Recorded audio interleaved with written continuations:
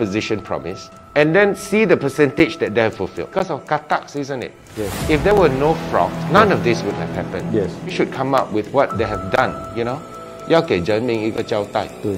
So how do you give Zhenming that particular交代? It is only through your report card. Their vote will determine their future for the next five years. Our guests for tonight. Previously on Sirius for Kota Sentosa. go through what this opposition promised, and then see the percentage that they have fulfilled. Because of katak, isn't it? Yes. If there were no fraud, none of this would have happened. Yes. We should come up with what they have done, you know? So how do you give Zhenling that particular delta? It is only through your report card. Their vote will determine their future for the next five years. Our guest for tonight.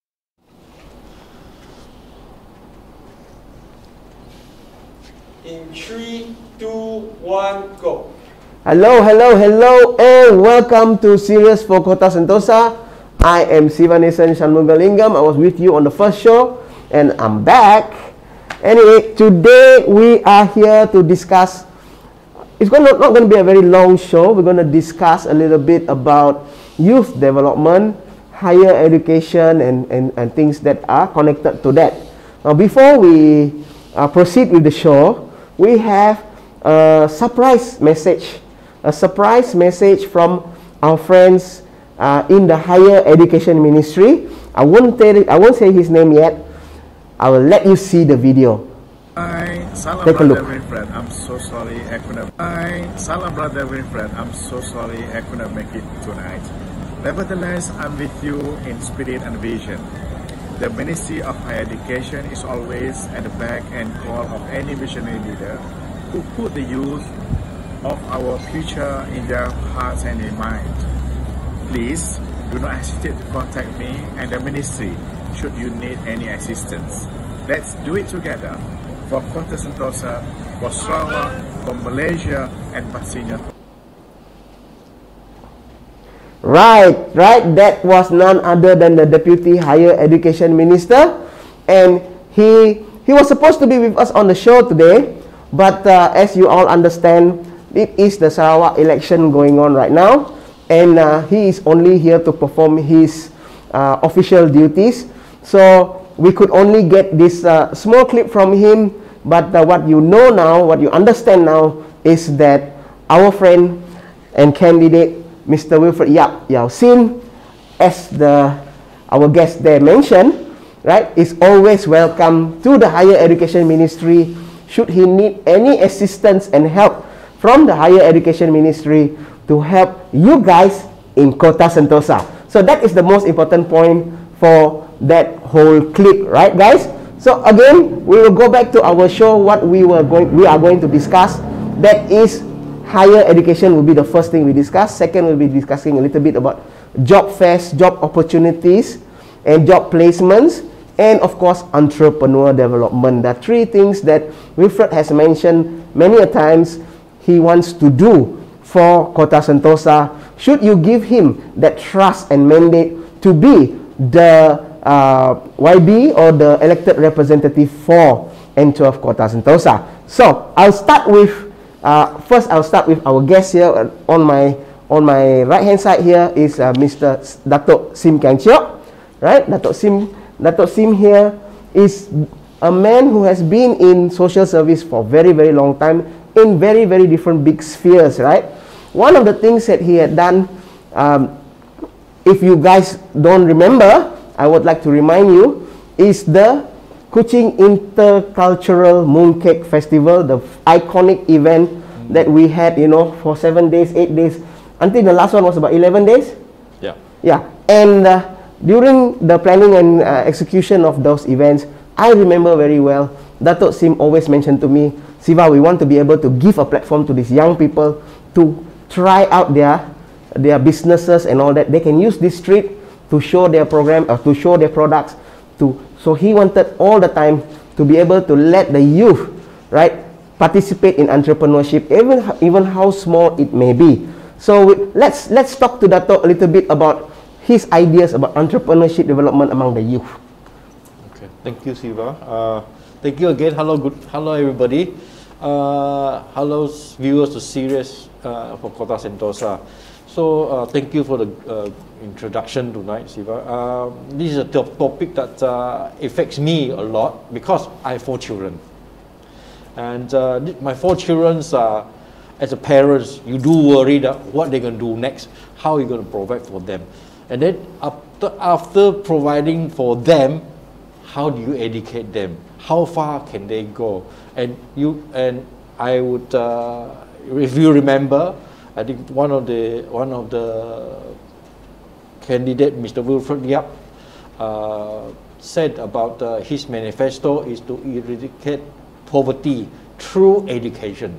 And that is very true, and I can share with you that it's so important that uh, if you get educated, you yourself, your children will be able to look after themselves, they will be able to move on in life and move up in life, and that's very important. And uh, we have, uh, I have three children that is all uh, up to uh, first degree, and my daughter is a master your daughter has a master's degree, yeah. And my younger son is uh, basically a, a special child, so he, he can't go further than a Form 5. Uh, he's a difficulty in learning or autis- due to autism. And this is what uh, I have to face, or these are challenges that I go through as a parent. And, uh, and to share with you so what Wilfred Yap want to do, I will support because it is so important that you can you cannot give them the fish, you give them the fishing rod because you just give them the fish, you're gonna finish tomorrow. But when you give the fishing rod, they can continue to fish all the time, and that's important. That's part of education. That is what Wilfred Yap want to do for people in Kota Sentosa, which I support. Right.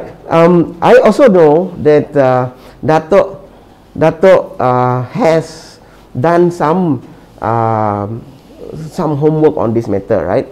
Because, like he mentioned about his special child, right? His name is Alistair. He is now an upcoming talented artist, right? So maybe we can get a little bit of insight from Dato. How did he come about recognizing this talent and then how did he build it up until Alistair, if I'm not mistaken, Alistair now even sells some of his artwork, Yes, doesn't he, Dato? Yeah, thank you. Uh, that's a good, interesting question. Uh, well, I thought life is a breeze, it's easy. You, you get your children through from five, then go to A level, then you go get your degree, apply universities, you get a loan, uh, all that, you can do that. That is within the system, the, the mass catering system for everybody across the world. But this special child that I have, where do I go after Form 5? There's nothing in Sarawak, there's nothing uh, that in Kuching that can provide further education for him. And the thing is, he had difficulties in learning. So the challenge that I went through and my wife went through uh, is that to identify what he can do so that when we are not around anymore, he will be able to survive on his own. And that is the biggest challenge. But uh, fortunately, I spent the afternoon with him and he was in my office and he drew something that is, blew my mind. He actually, actually can draw the world map. Freehand, uh, almost copy freehand, almost to exact detail. And I was so shocked that he can do that. And I took him to a, a guru, a, a teacher that can do artist. And then from there, he progressed from water, pen, water uh, pencil, watercolor, to oil painting. Oil painting. And uh, we are, we, I brought him, of course, with the interculture mooncake. I almost promote uh, youngsters to say, come and trade, Yes. come and show off your talent. Yes. So I thought maybe my son can do an exhibition, which he, which he did, and he took all this oil painting, and was at the Medica uh, Merdeka Plaza. Plaza, and uh, uh, we show off to uh, uh, show to the public, and was quite well received, and that gave us a confidence to ca- carry on for him to continue painting, and until today he's still painting, and he's on Alistair's artworks uh, in, in the Facebook. You can go in and visit and have a look at all the paintings. and uh, I know our Minister of Welfare, uh, Dr. Sri Fatimah, uh, loves his painting, and uh, and we try to uh, what's the word? Give hope to the parents. Tell parents with this special child, do not give up. you, you can identify the talent, they can even be better than normal child. And this is a thing that we've been trying to promote him on. And further, uh, next, in February, he'll be in TVS. Uh, he was given uh, one hour, one hour, one, one episode of this special child program. Oh. And uh, There you go. hopefully you guys uh, can go and come on and join and watch TVS. And it's not their sentence, it's when you have this special child, it might even be a better than your ordinary child. Okay? There you go. There you go. From starting with an idea of getting the masses into entrepreneur, uh, entrepreneur spirit, entrepreneurial development, he actually found a way to help one of his child that is a special child. Now, let's talk to Wilfred, right? Let's talk to Wilfred. Now, sir, you have mentioned from the beginning of this campaign that youth development is a priority as far as you're concerned.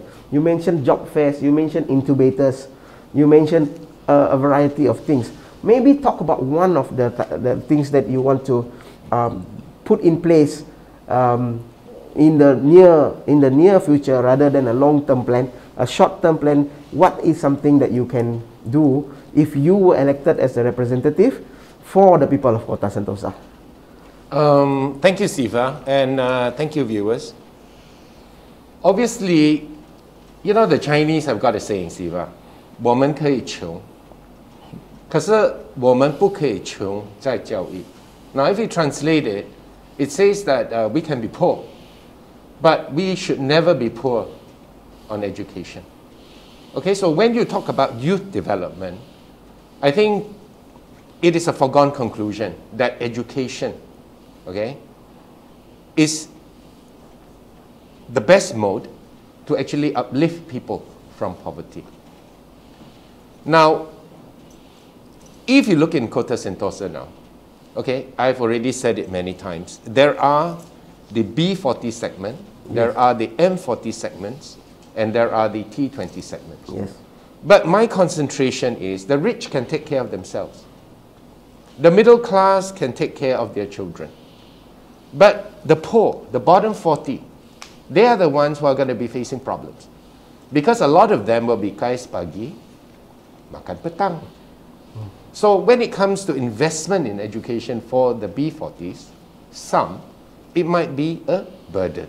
Mm. Okay, so when you're talking about Wi-Fi, mm. they might not be able to afford a Wi-Fi. Mm. When you talk about computers, they might not be able to afford one. Mm-hmm. Okay, so the first thing that I will do, if I do get elected, okay, first thing is I've already said it many many times. I will set up a Pusat Now the difference between my Pusat Khidmat and a Pusat Khidmat from from from Let's say other BNB. Let's say. uh, Let's let's not mention names. Okay, I would just say that uh, other other opposition pusat khidmats. Mm. When the election comes, it's very very busy. After the election, not so busy. Mm. Okay. In fact, might not also be functioning. But what I want to do is I want to set up a fully functioning pusat khidmat, a, a functioning service center that will be there to serve the public. And within this pusat khidmat, I will set up an incubator like facility. That means anybody, okay, especially the, the, the, the poorer B40 families, they can always send their children there if they require certain uh, computer facilities, printer facilities, you know, that kind of thing. Probably I'll just. Wi-Fi. Wi-Fi. Mm-hmm. It's not going to be a big setup, Siva. Mm. It's just going to be a room, probably 10 by 10 feet. Put a few computers in there, put a Wi-Fi in there, put a printer in there.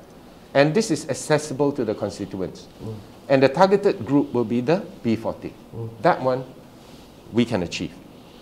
Based, In the short term, yeah. yeah, in the short term. Yes. Right.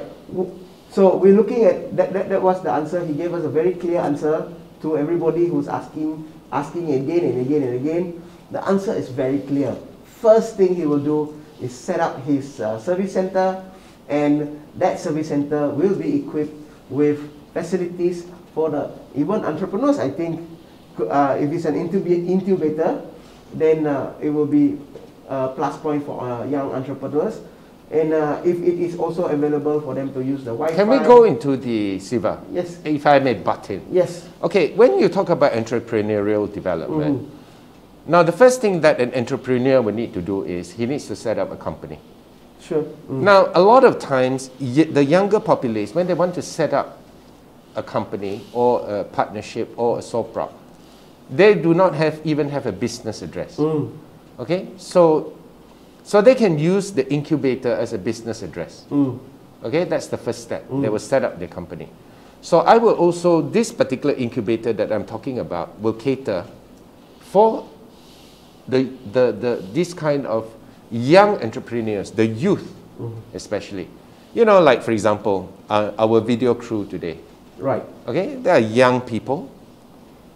You know, they have bright dreams, they have fantastic ideas, right? Right. So there are a lot more people, people like that out there, who does not know how to actually advance, how to actually set up a business. These are things that they can come to me for. Mm-hmm. You know, with my, with my little bit of legal background, I can mm. always assist them, advise them on how to set up uh, sole props, partnership, limited liability, mm. that kind of thing.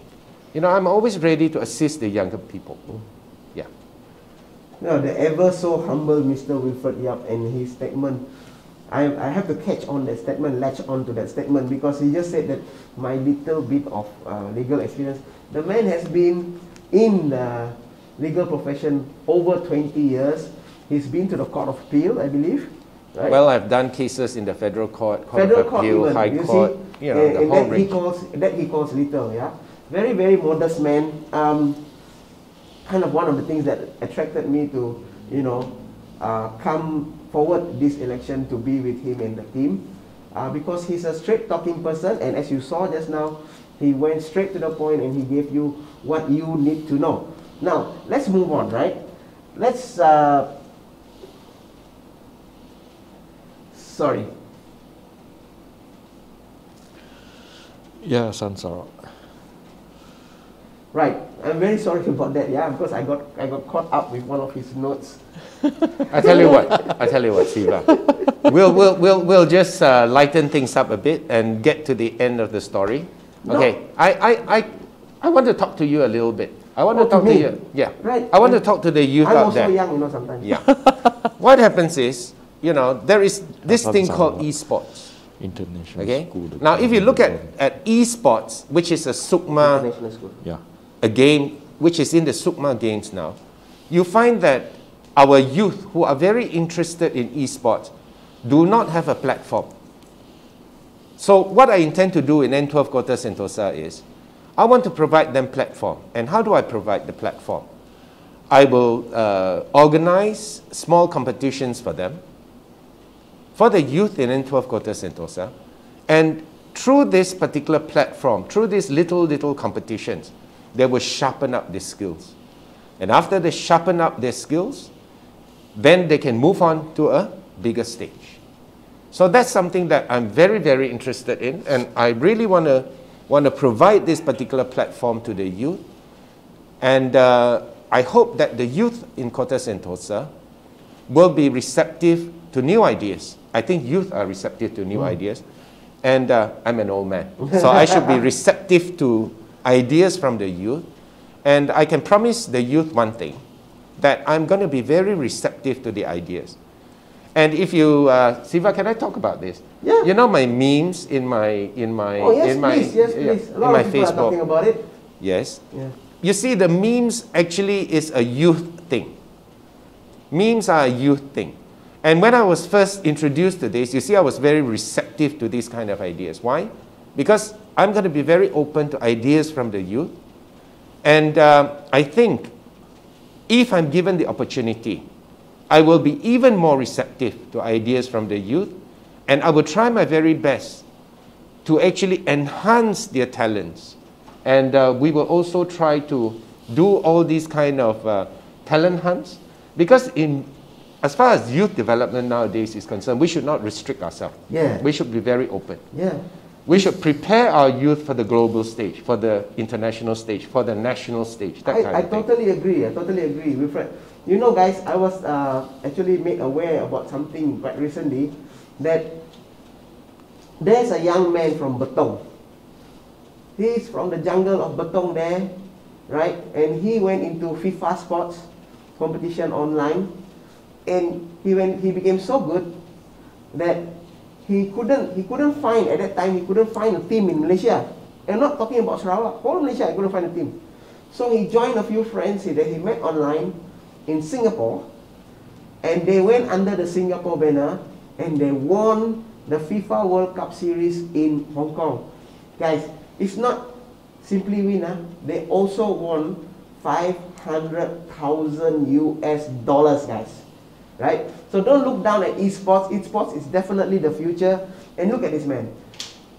We haven't even started yet. He, is already thinking about the future. So getting these boys, I'm sure when your competitions are on, you know, they sharpen their skills, then it's they are they are ready for the global stage. They will be ready for the global stage. You see, so yes, thank you very much, Wilfred. No, I, I have some other question for Dato here.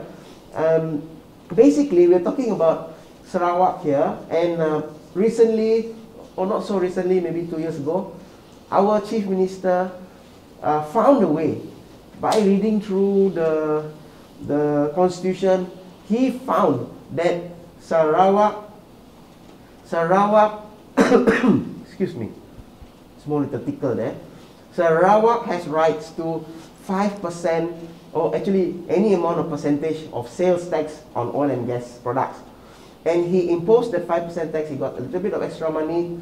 From there, he has initiated four international schools in Sarawak.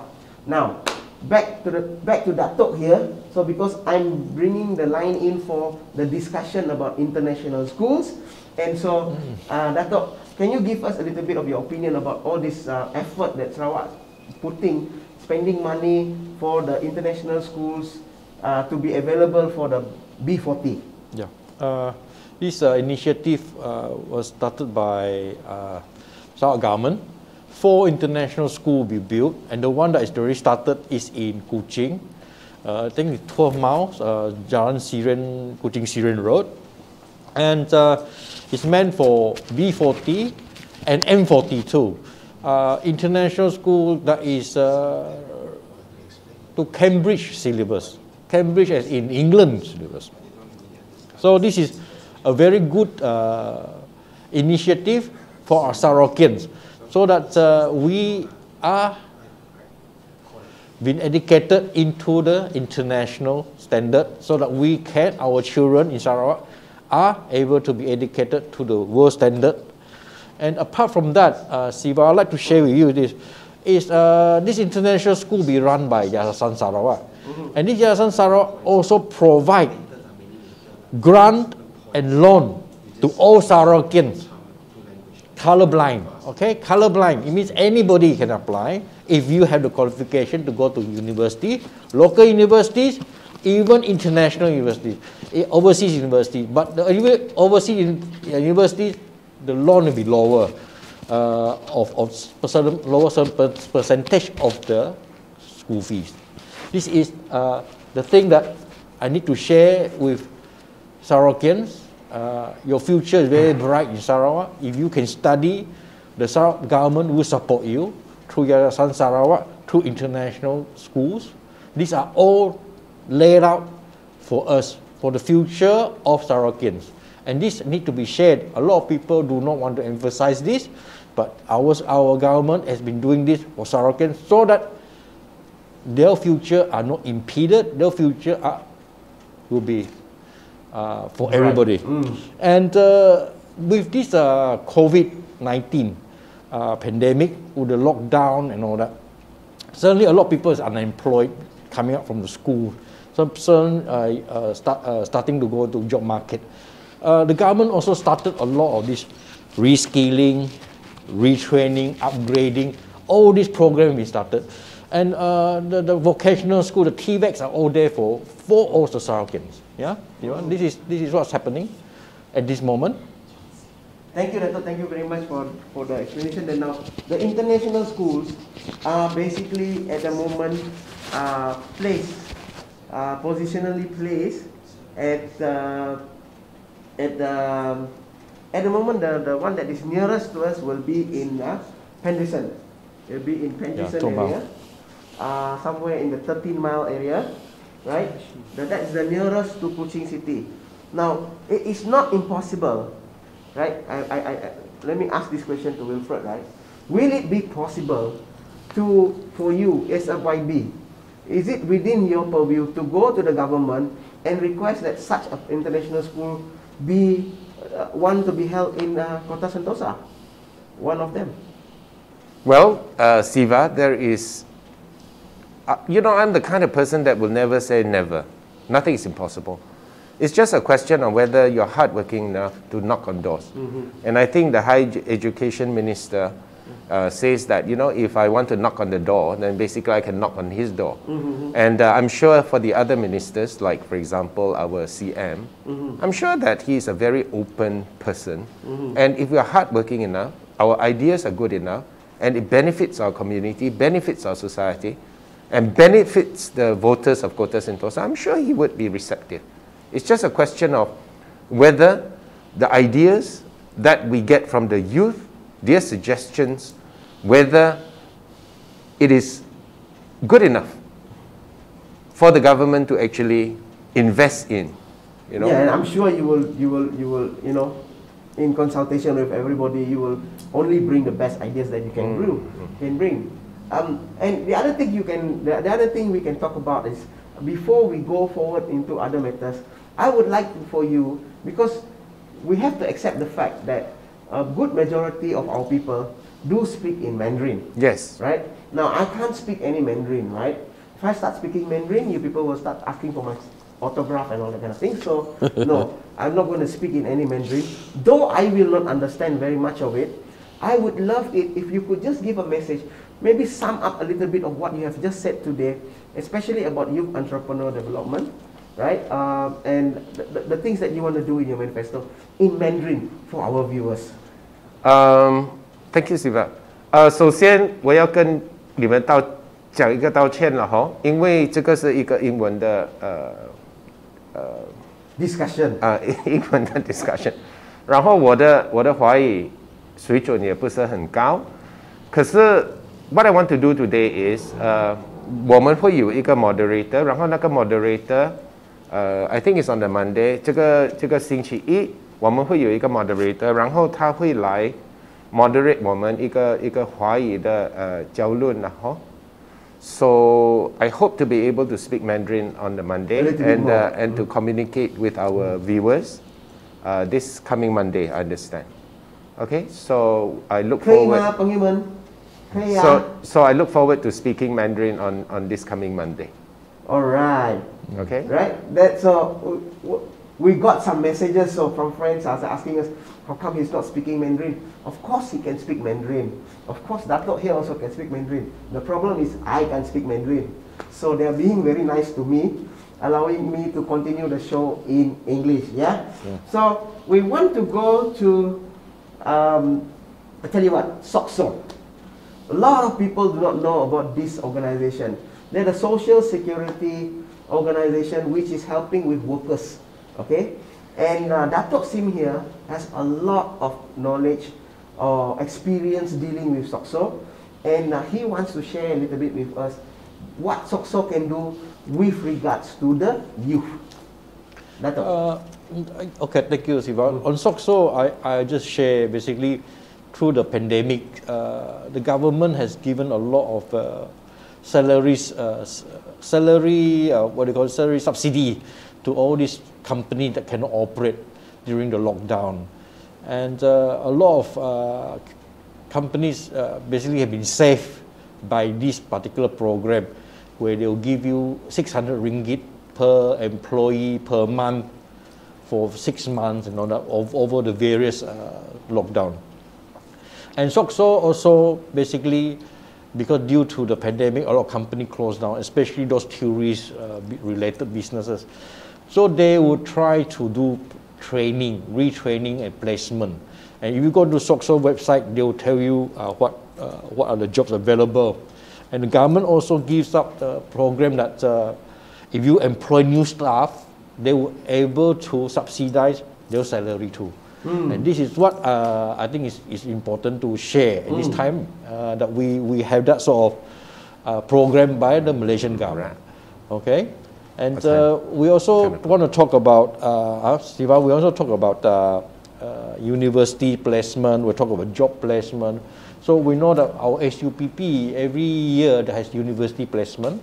They also help people, help students to apply for grant uh, and, and how to apply. They give all these talks. They actually have roadshow going through Sarawak.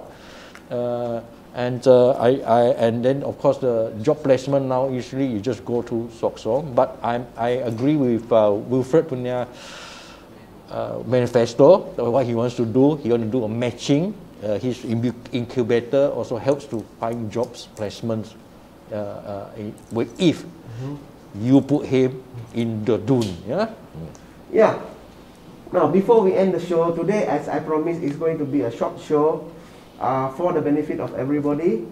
Um, today is a Saturday night. I'm sure many movies on TV, many things on Netflix, many things on Apple Plus, on all these different platforms that you have.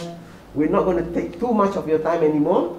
So, be, but before I end, I would like to really emphasize here that while Dato was mentioning that uh, SUPP does have the job placement exercise and the, the job fair exercise, what I'm trying, I, I would like to emphasize here is that Wilfred will be committed to do the same thing, but not for the whole world. He will concentrate on Kota Sentosa, right? That is what you guys need to know. He will concentrate on Kota Sentosa. He will not be interested in the rest of the world, right? He'll be interested only in you guys, right? Before we leave, I want to replay that message that we had from the Minister of Higher Education to show to you guys how serious we are for Kota Sentosa, how serious Wilfred is for Kota Sentosa, because he's already got the endorsement of the Higher Education Minister saying, hey guy, hey man, knock my door, I will answer it. So guys, one more time from the Deputy Minister of Higher Education.